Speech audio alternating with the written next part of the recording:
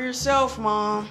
Hey, please pretend you have manners and introduce yourself. Freddie, this is Cassandra. Cassandra, this is my son. Freddie, who I promise was not raised in a barn. Hi.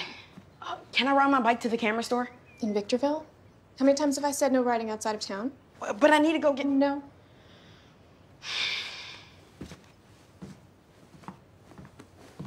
Nice to meet you. Please ignore him.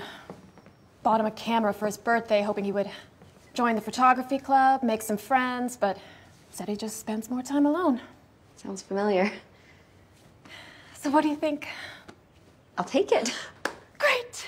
Let's introduce you to the rest of the town. Okay. Okay. I know the cutest little lunch spot if you're hungry. Hey, Sylvia. Ready for the bake sale? Aren't I always? I love baking.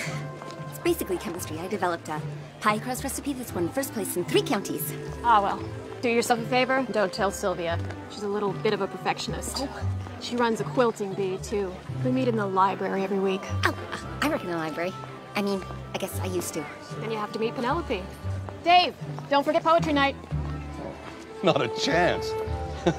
If you're a caffeine addict, this place has the best mocha lattes. And that salon, half price mani pedis every Wednesday. John, Vincent, be careful now. Keep up the good work, guys! Oh, and our library is right here, right across from Town Hall. Oh.